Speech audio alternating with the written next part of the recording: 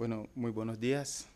Eh, gracias a la doctora Heiser, eh, quien, tuvo, quien me dio el honor de estar en una de las universidades más prestigiosas del mundo, haciendo una reflexión sobre el Estado plurinacional desde la visión de los pueblos y las nacionalidades del Ecuador, en especial desde eh, el pueblo afrodescendiente y la universidad a que represento, el Instituto de Altos Estudios Nacionales, la Universidad de Postgrado del Estado, y donde yo soy eh, profesor de Sociología Jurídica y desarrollo el tema de investigación sobre eh, plurinacionalidad y desigualdades étnicas.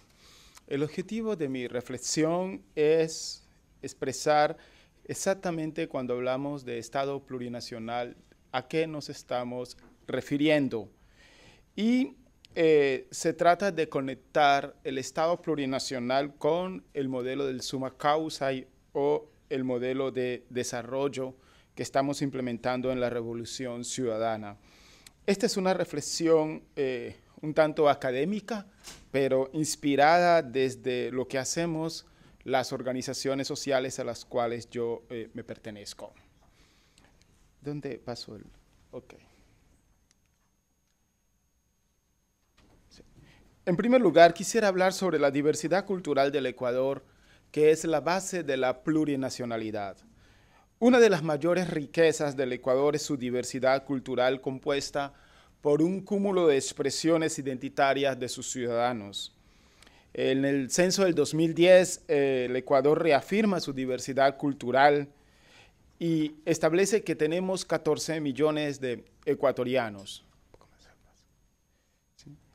los cuales se componen de la siguiente manera, según ustedes pueden ver en la diapositiva. El 71% es mestizo, el 7% montubio, el 2% afrodescendiente y el 7% indígena. El censo del 2010 evidencia que más del 21% de la población ecuatoriana se autoidentifica o pertenece a uno de los pueblos y las nacionalidades. Estos pueblos poseen riquezas culturales, concretamente son los afrodescendientes, los indígenas y los montubios, quienes la Constitución los define como pueblos. Y aquí tenemos una primera variable sociológica muy importante para construir la plurinacionalidad. Es decir, esta Constitución reconoce a los a, las comunidades étnicas en la categoría jurídica de pueblos. Y ser pueblo es decir, un grupo étnico que posee un conjunto de características culturales, sociales, políticas, ambientales, específicamente e históricamente determinadas. Ustedes pueden ver en la diapositiva tres fotografías. La primera pertenece a una de las 15 nacionalidades indígenas eh, del Ecuador, que las mencionó el señor cónsul. Eh, segundo, está una fotografía de una mujer afroecuatoriana. Y tercero, es una persona del pueblo montubio. Específicamente quiero definir afrodescendientes porque es el ámbito donde me desenvuelvo. Comprenden todos los pueblos y personas descendientes de la diáspora africana en el mundo. Se trata de un concepto de connotaciones sociológicas referidas a las culturas negras o afroamericanas que emergieron de la trata esclavista que ocurrió entre el siglo XV y el siglo XIX. Ser afrodescendiente es ser una nueva civilización, un pueblo originario. Y esto de originario lo enfatizo en el convenio 169 de la Organización Internacional del Trabajo OIT. Desde afrodescendiente se desprende el concepto afroecuatoriano que alude a los descendientes de africanos que desde la trata esclavista hemos nacido en el Ecuador. Ahora, ¿cuál es la realidad de estos pueblos? Sobre los pueblos, la realidad social, aunque en la tarde voy a hacer un énfasis más profundo sobre esto, solo quiero mencionar algo. Sobre los pueblos y las nacionalidades indígenas, afroecuatorianas y montubias, recae una realidad muy profunda a sus grandes aportes que han hecho a la construcción del Estado. Sobre estas comunidades existe una marcada pobreza, desigualdad y exclusión. Basta revisar los indicadores sociales para darnos cuenta que este conjunto poblacional aún no satisface plenamente sus derechos ciudadanos. El solo indicador de pobreza del 2010 desnuda la situación. Más, según lo pueden ustedes ver, y esta es una cifra de la Secretaría Nacional de Planeación, más del 88% de los indígenas están en condiciones de pobreza por necesidades básicas insatisfechas. Tanto que los afrodescendientes, el 69,8% están en esa eh, situación. Claro que este es el indicador de pobreza por ingresos. Es otro, otra forma de medir la pobreza. Son tres maneras de medir la pobreza. Por necesidades básicas insatisfechas, por ingresos y por eh, consumo. Yo prefiero utilizar la de necesidades básicas insatisfechas, sin embargo, esta es la cifra eh, oficial de, de la República.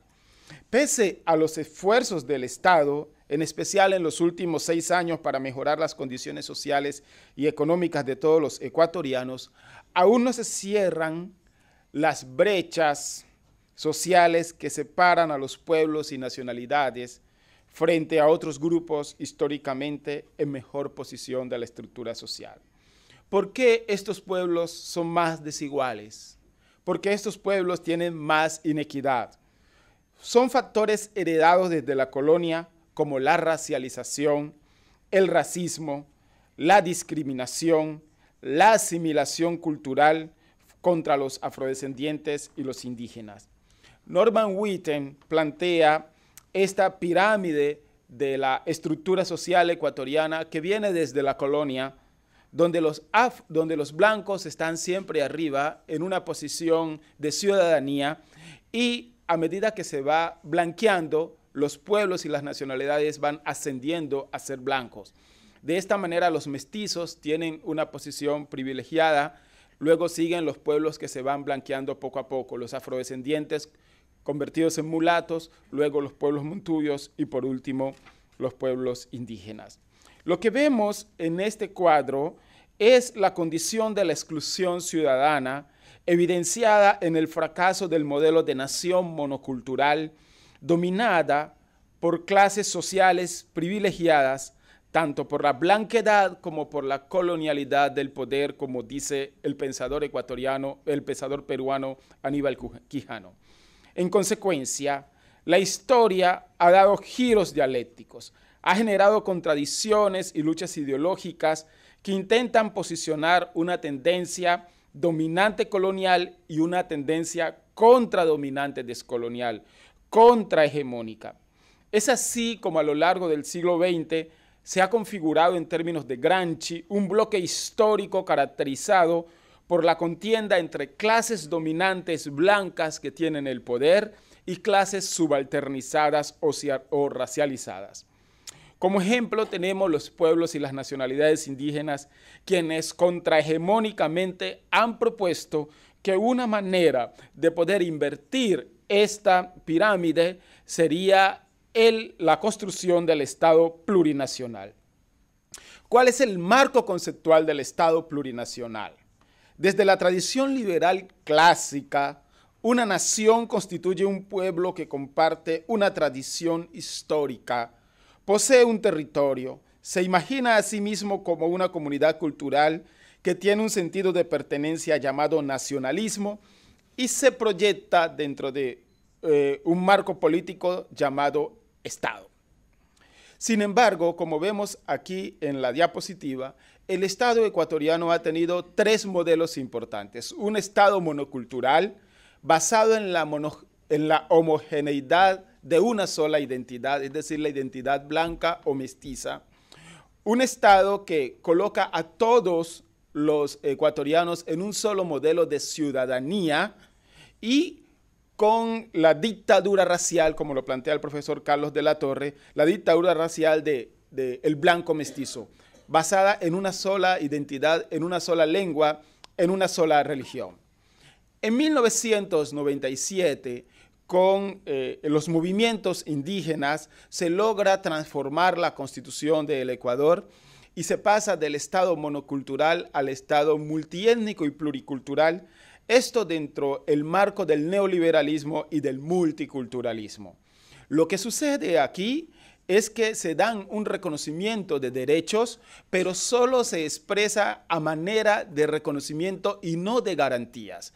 Es decir, se le entregan derechos colectivos a los pueblos y las nacionalidades, pero la estructura hegemónica de dominación del Estado, es decir, el blanco mestizaje no garantiza esos derechos de los pueblos indígenas y los afrodescendientes.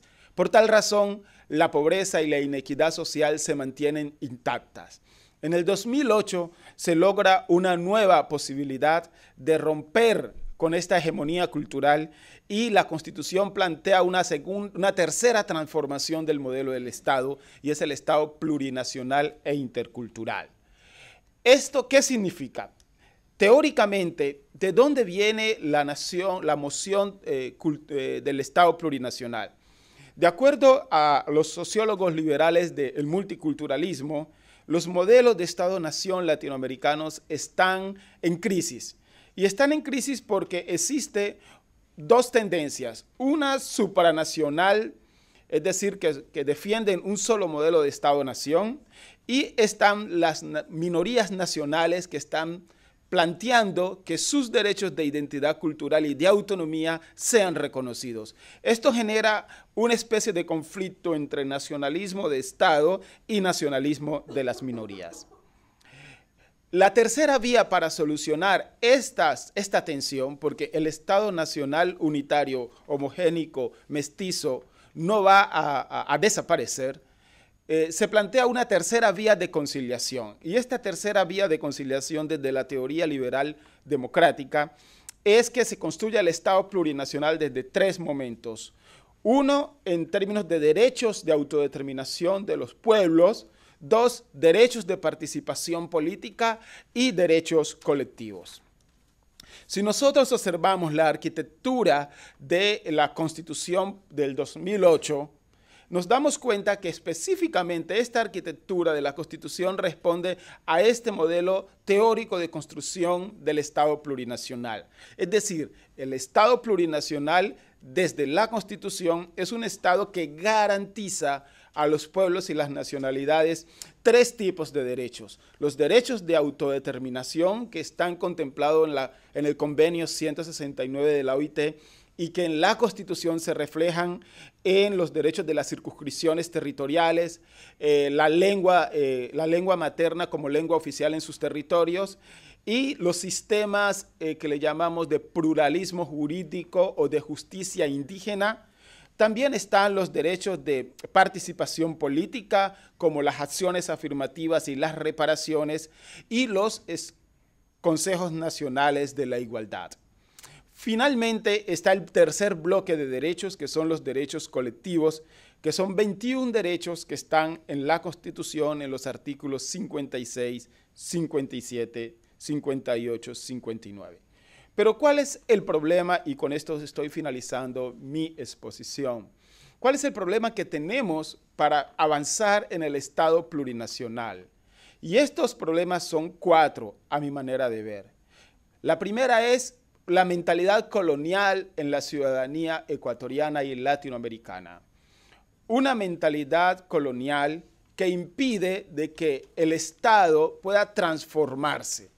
Y esta mentalidad colonial está en términos de Pierre Bourdieu en una especie de hábitus de las personas. Y este hábitus se expresa con todo su prejuicio racial, de impedir de que los pueblos y las nacionalidades puedan satisfacer y garantizarse sus derechos de representación, de autonomía y derechos colectivos.